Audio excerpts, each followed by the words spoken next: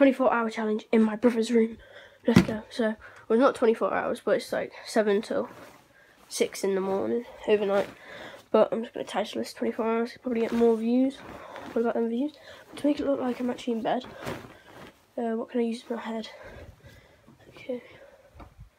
What's here? Okay, that looks sort of reasonable. Put a dent in there.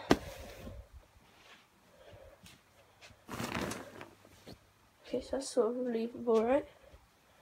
Just grab my iPad. Okay. Ready?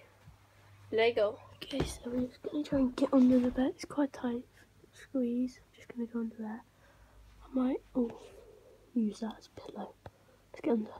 So it's Monday, November 14th, and I'm under my brother's bed. As you can see. And pretty much I'm gonna be doing 7.56 p.m. to like 6 a.m. but probably like 5.50 because then I'll have to crawl back into my bed before my parents like see me. But um yeah, I'm hoping to not get caught. But my, they're currently in jacuzzi, so just wait for them to come up. Oh, still not came up yet. Sam did come up, but he was like in here for like half an hour and I couldn't do anything because the light went on.